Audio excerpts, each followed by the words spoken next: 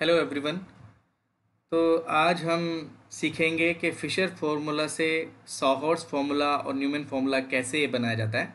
So how to convert Fischer formula into sawhorse formula and the Newman formula so you can see here the Fischer formula जैसे कि हम to uh, dimensional होता है इस तरह से बनाते हैं। एंड न्यूमन फार्मूला इस तरह से एंड सॉहॉर्स तो चलो स्टार्ट करते हैं कि हम कैसे कन्वर्ट करेंगे।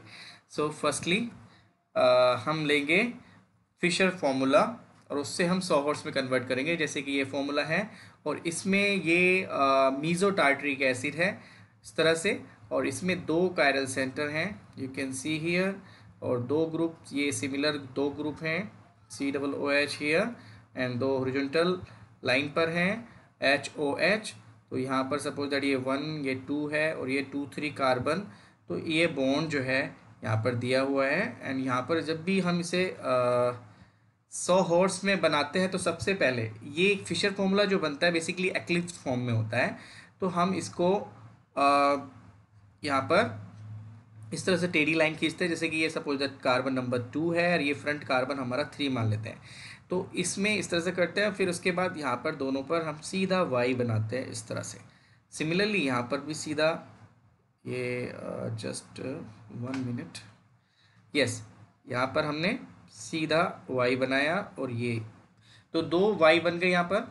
ये वाला थ्री कार्बन यहाँ पर है और इसमें जो वाई पर जो ये नीचे वाला हिस्सा है, यहाँ पर जो ऊपर वाला टू पे जो सी डब्ल्यू एच जुड़ा हुआ है तो सी डब्ल्यू एच यहाँ पर आ गया।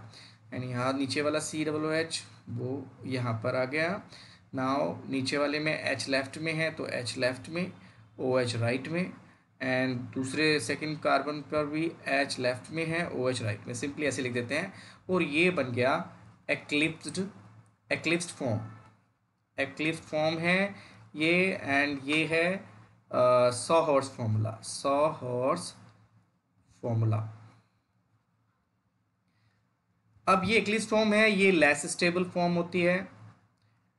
इससे ज़्यादा स्टेबल फॉर्म होती है uh, that is staggered staggered form तो स्टैगर्ड फॉर्म में कन्वर्जन करना होता है.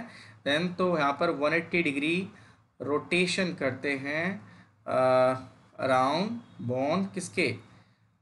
टू थ्री बॉन्ड जो second carbon C two and C three bond जो ये है, इसमें 180 डिग्री रोटेशन किया जाता है.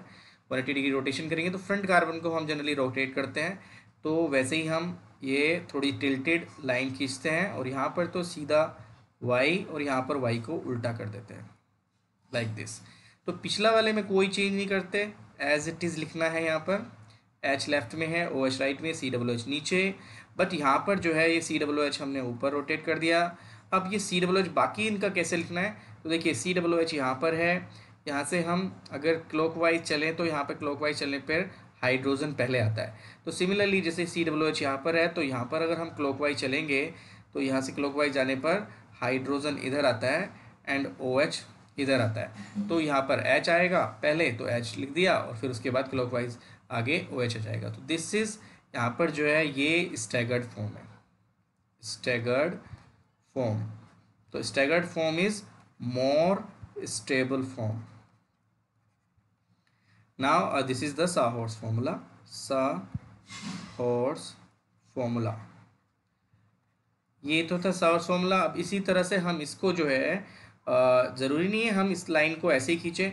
हम इसको टेढ़ा भी इस तरह से भी बना सकते हैं। सपोज़ दैट हमें इस तरह से बनाना है तो इस तरह से बना लीजिए। यहाँ पे दो एक वाई यहाँ पर ये टू कार्बन है ये थ्री कार्बन है तो ये दूसरा वाई यहाँ पर ये थर्ड कार्बन फ्रंट कार्बन नीचे वाला हम ले लेते हैं जो हमारे पास होगा। नाउ uh, यहाँ पर हो जाएगा C double O H and here also C double O H on the left hand side H on the right hand side O H यहाँ पर भी एच लेफ़्ट में ओ एच राइट में same तो ये वही एक्लिप्स फॉर्म और इसके बाद अगेन 180 डिग्री रोटेशन तो रोटेशन कहाँ हो रहा है? Rotation C two and C के बीच में 180 डिग्री रोटेशन फ्रंट कार्बन को हम रोटेट कर रहे हैं. तो हम इस तरह से बना सकते हैं। यहाँ पर इसको सीधा ऐसे ही रहने दीजिए, बट यहाँ पर उल्टा वाई बनाना है। ये, यहाँ पर कुछ चेंज नहीं होना। जो बैक कार्बन है सी डबल ओ एच और ये सी डबल ओ एच यहाँ पर आ गया।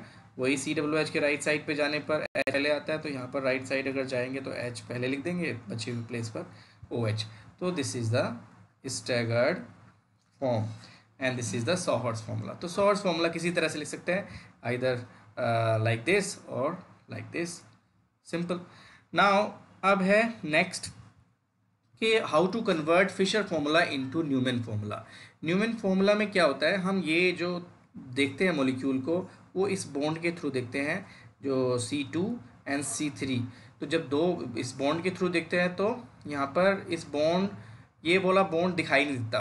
Means front carbon suppose it three है तो ये सपोजेट हम ये ये हम बना रहे हैं फ्रंट कार्बन तो बेसिकली यहाँ फ्रंट कार्बन से, वैसे ही इसमें भी एक्लिस बनाना है पहले, क्योंकि एक्लिस फॉर्म में होता है ये।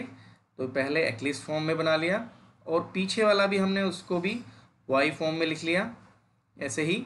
तो एक्लिस फॉर्म में यहाँ पर ये वाला थ्री कार्बन वाला है थ्री और टू कार्बन इसके पीछे वाला है, वो बैक साइड में है, जो दिख नहीं रहा है। तो टू थ्री पर हमारा एच लेफ़्ट में ओ एच राइट में एंड टू पर भी हमारा एच लेफ़्ट में एंड ओ एच राइट में है। और नीचे जो है दोनों सी डबल एच तो ये हमारा बन गया एक्लिप्स्ड फॉर्म एक्लिप्स फॉर्म बन गई which is the less stable form अब इसमें again 180 degree rotation around bond कौन सा? C two and C three तो उसके रोटेशन करेंगे फ्रंट कार्बन को भी हमें रोटेट करना है। तो यहाँ पर फ्रंट कार्बन को हम इसको रोटेट करता हुआ दिखाएँगे। अच्छा पीछे वाले बॉन्ड जो है, ये कार्बन फ्रंट कार्बन है तो पीछे वाले बॉन्ड यहाँ पर इससे अटैच नहीं कर सकते। वो सीधा वाई बनाना है। वो पिछले कार्बन से अटैच है तो इस कार्बन के पीछे छुपा हुआ है तो हम इसे अटैच नहीं करेंगे यहाँ पर। तो सिर्फ़ ये पेरीफेरी से दिखाएँगे पेरीफेरल यहाँ पर बाहर निकलते हुए तो प्रोजेक्टिंग आउटसाइड तो यहाँ पर ये सी डबल ओ एच अब ये ऊपर आ गया। यहाँ पर C double O H as it is था बैक कार्बन पे सी टू जो था, और एच लेफ़्ट में था ओ एच राइट में था।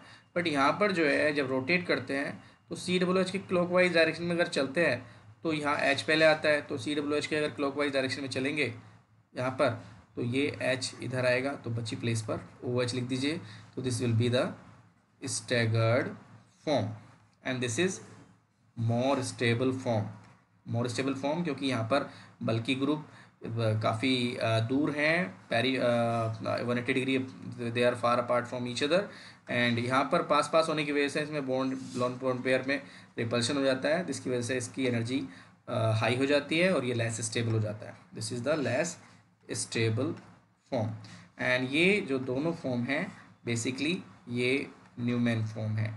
न्यूमैन फॉर्मूला और न्यूमैन प्रोजेक्शन फॉर्मूला तो हम जो लिखते हैं, वो मोस्ट स्टेबल फॉर्म तक बनाते हैं, क्योंकि यही मोस्ट मोस्ट स्टेबल फॉर्म है इसकी न्यूमन फॉर्मूले में। तो यहाँ तक हमें बनाना होता है।